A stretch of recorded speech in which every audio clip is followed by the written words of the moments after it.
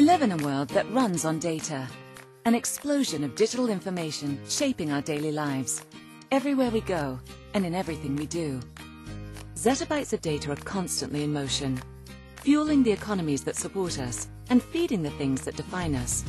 Our laptops, our music, our phones, our tablets, and our media.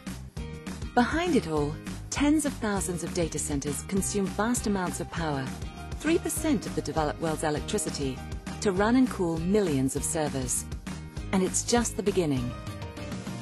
Now the world needs more power than ever. Power with a smaller environmental impact.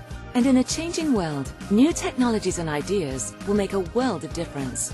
Like connecting to renewable energy nearby or in extremely remote locations, wherever the wind is blowing or water flowing.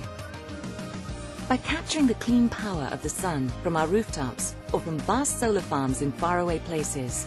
With new applications like sophisticated microgrids that can integrate and store power from multiple energy sources, providing a whole new level of reliability, protecting population centers and ensuring secure supply for critical infrastructure.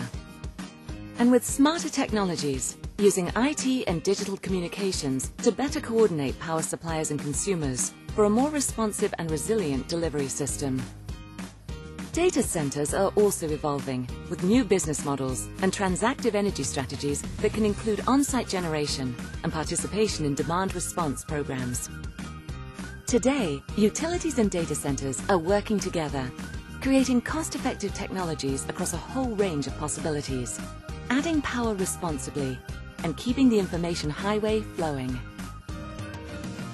Sharing new ideas that increase security of supply while lowering our impact on the environment to make every kilowatt count. Making a world of difference in all of our lives.